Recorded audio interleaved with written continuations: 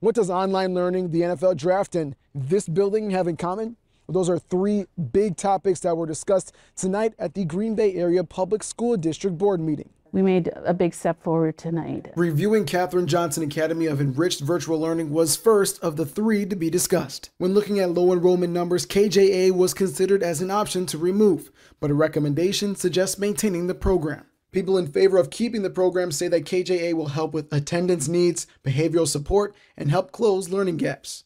I move that the, the Board of Education recognizes KJ Academy as an important program and virtual enhanced learning as an important modality, and that the board encourages the district to grow the program to be a sustainable school.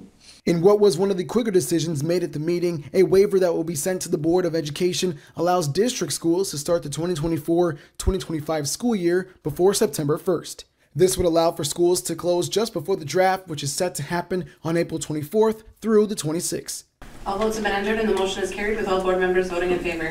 The topic of the potential relocation of the district building was one of the final items discussed. The biggest factors include a pricey relocation, The price tag is enormous. and considering community concern. My no vote reflects a hope that we will still look at what the community is interested in, and I, it's not, the way to do it is not to spend this money to do a huge chunk right now, but I'd like to see what could happen naturally over the next few years. The decision to remove the relocation from the master plan was eventually approved in a 6 to 1 vote.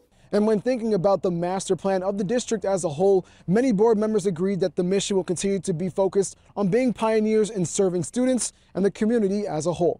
In Green Bay, Andrew Amuzu, NBC 26.